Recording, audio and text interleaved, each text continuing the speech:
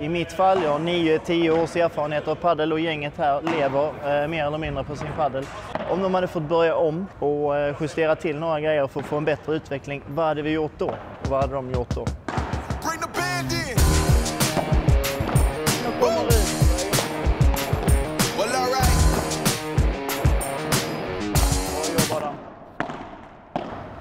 Första tipset jag kommer att tänka på det är att jag hade önskat att jag mycket, mycket tidigare i min paddelkarriär hade insett nätets betydelse för spelet.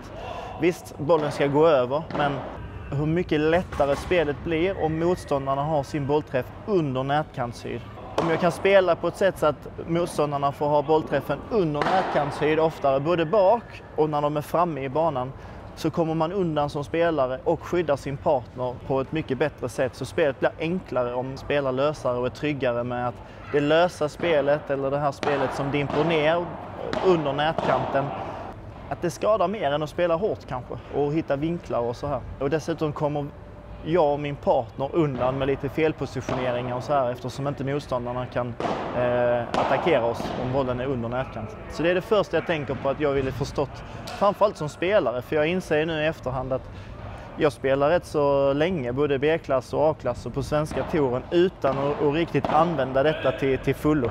Så det krävs inte mycket teknik, det krävs ju faktiskt ännu mindre fysik för att spelet blir inte lika rivigt och, och motståndarna kan inte attackera mig. Så att det ser jag att det skulle många kunna introducera utan att, att lägga en förmögenhet på att träna sin teknik eh, och utveckla den. Utan bara precis förståelse för spelet. Var är ytan någonstans? Yo, my name is Nej. Förresten publik. Om jag hade börjat min karriär hade jag eh, börjat med att spela på båda sidorna, både forehand och backhand. För att få en eh, bättre förståelse av hur spelet är uppbyggt. Man förstår mer vad sin partner gör, alltså vad han tänker på. Så man fattar att, för är man fast på en sida så har man, vet man ju bara hur det är att spela på sin. Så får man ju förståelse vad partnerns uppgift är och hur man kan hjälpa sin partner på bästa sätt. Man måste ju inte bli lika bra på båda, men att man i alla fall utsätter sig för den situationen. Och det är bra, alltså, är man i obekväma sitt, i sitsar, sätter sig man där så utveckla, utvecklas man nog mer. Också än om man alltid är bekväm. Och när det väl kommer till proffsnivå, då oftast väljer du. Men det kan vara svårt också att veta vilka man är bäst på i början. Eh, eller vart man känner sig mest eh, bekväm. Men det finns ju proffs som byter sida också. Det, det är mitt tips. Också en positiv grej, du kommer ha lättare att hitta matcher om du kan vara ett multiverktyg och spela på båda sidor. En annan grej jag skulle vilja dela med mig av det var att som spelare la jag otroligt mycket tid på att förbättra mina svagheter. I mitt fall var det det offensiva spelet.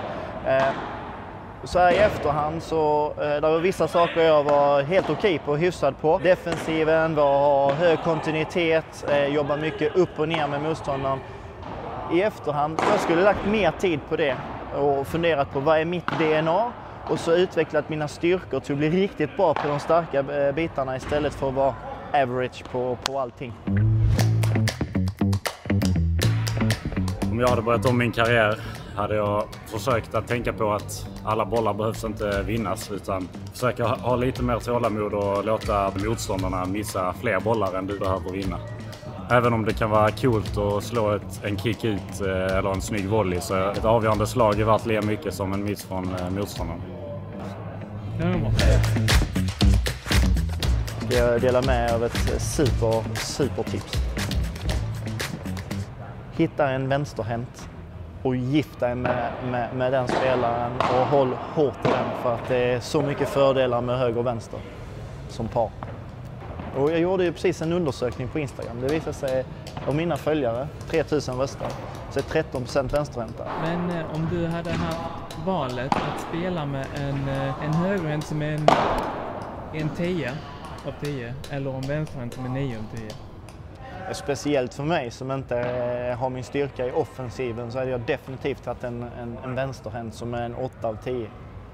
Snarare än en, en högerhänt som är 10 av 10. För att det är bara så att vissa, vissa vinklar och vissa alternativ försvinner bort om det är två höger. Om jag hade börjat om min paddelkarriär så hade jag valt att träna, börja träna betydligt tidigare. Nu spelade jag nästan två år utan att ta en enda träning. Vilket gjorde att när jag tog min första träning med Dani Diaz i Spanien så var det en väldigt ögonöppnare och jag insåg att jag behövde ändra väldigt mycket i mitt spel. Man fick ett helt annan, en helt annan uppfattning för hur man ska spela och på vilket sätt, vilka lägen man ska söka och vad man vill undvika. Innan så var det lite att man man, jag kommer från tennisen och där var det mycket slå så hårt som möjligt på bollen och ganska snabbt insåg man att paddel inte var alls samma sak. Så alltså det vart, eh, ja men spela smartare helt enkelt och använda lobben som ett offensivt slag och inte så fort man blir pressad försöka kasta iväg en lobb och hoppas på att det löser sig. Så det var framförallt det som jag tog med mig. Om ni hade börjat om med padel, paddel, vad hade ni då ändrat på och gjort rätt från början? Droppa gärna i kommentarerna nedan och vem vet, det kanske blir inspiration till en ny video här på Träna Padel.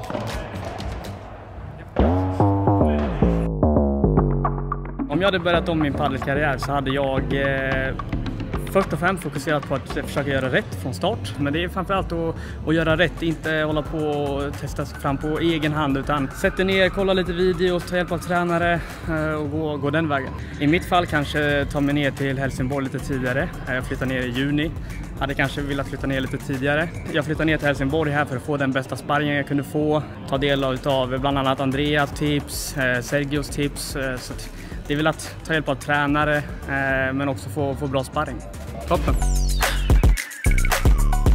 Avslutningsvis, eh, och detta är väl något jag kan relatera till själv. Jag springer på väldigt mycket, många runt om i hallarna som på ett eller annat sätt är ganska frustrerade kring en förlust eller hur partnern spelar eller vad partnern sa. Ehm, och kan liksom lägga en kväll på, eller till och med en helg på att vara irriterad över sitt senaste game jag kan väl någonstans köpa det om man lever på sin paddel, eh, att förlusterna tar lite grann. Men jag vill bara säga att njut av er paddel, ha kul med er paddel och, och, och låt liksom inte det här bli för stort eh, så att det påverkar på ett negativt sätt. Utan i slutändan, kom ihåg varför ni börjar. Eh, jag är helt säker på att ni börjar och blir fast för att ni tycker det är sjukt kul. Så håll det så. Eh, mer glädje på banorna och mindre frustration kan jag själv också skriva under på för att det var något jag inte var bra på. Men jag önskar att jag hade eh, tänkt mer i de banorna när jag eh, försökte som bäst att bli så bra spelare som möjligt.